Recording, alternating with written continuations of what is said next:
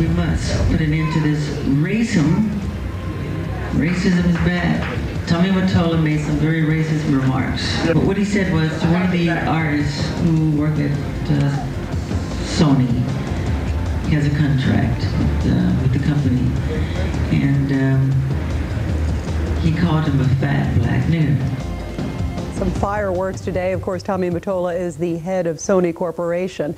Multi-platinum singer Michael Jackson is feuding with Sony and Tommy Mottola. Sony is, of course, his big name record company. At a speech and rally with Reverend Al Sharpton in Harlem today, the gloved wonder charged that the recording industry was a racist conspiracy that turns profits at the expense of performers, particularly minority artists. Reverend Sharpton has recently formed a coalition to investigate whether some artists are financially exploited. Right after his speech, I spoke briefly to the king of pop for a rare, exclusive television interview. Michael, why was it important for you to be here, and what do you think of the support of Reverend Al Sharpton? I think it's important to be here. I'm not just fighting for myself, I'm fighting for all artists. Those uh, great artists who pioneered, you know, entertainment business as well as songwriting, as well as incredible staging. You know, the fact that they have been taken by the system, totally broken them financially. You know, and this has to stop. It's conspiracy. You said out there that you felt that Sony was racist. I didn't say Sony was racist. I said Tommy Mottola is racist. Who's the head of Sony? Yeah, Tommy Mottola. Do you feel the recording industry as a whole has been, you use the word sort of conspiracy against black artists. Why do you think this has happened? Why do I think this is? Because money is the root of all evil. Um, you also said out there that you believe that some of the recording um, companies take black artists' money.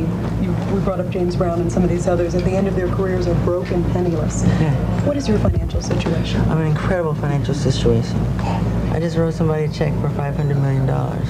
But when good news doesn't sell, if there's something negative and that's a rumor, that's when it's blasted.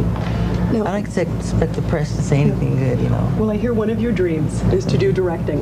Tell, what, what are some of the other things you want to do in your career? Uh, um, films. I'm going to make our own motion pictures, and I have a movie coming up I'm directing, and, you know, great entertainment. What do you think of Reverend Al Sharpton, and why is his support so important at this time for you?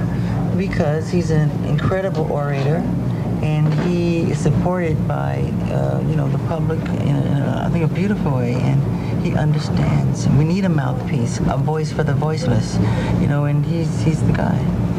One other quick question, just because you're in New York. One of the frustrations on 9-11 was the charity album. It, just what are your thoughts about 9-11 being here in New York? I hated it. I hated it if it was anywhere. An emotional and very interesting Michael Jackson.